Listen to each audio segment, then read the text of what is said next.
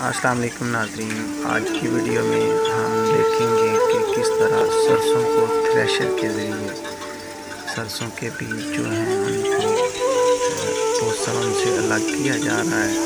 तो आपके सामने लाइव दिखाया जा रहा है। ये देखें, ये सरसों थ्रेशर से निकल रही है, जिस तरह गंदम निकलती है। तो ये मशीन के अंदर डाल रहे हैं सामने बोसा जा रहा है और ये लड़के नीचे सरसों खूबसूरत मंजर है। सरसों की काफ़ी ज़्यादा इस्तेमाल है। सबसे बड़ा इस्तेमाल हम अपने सर पे लगाने के लिए अपने बालों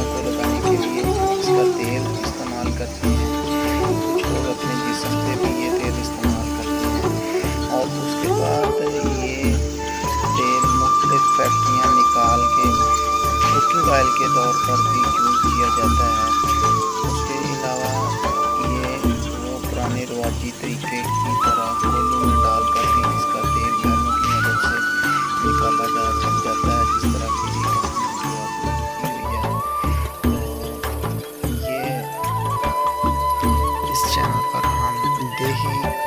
तो लाइफ के मतलब विल्ज लाइफ के मतलब वीडियोस डेली अपलोड करते रहते हैं।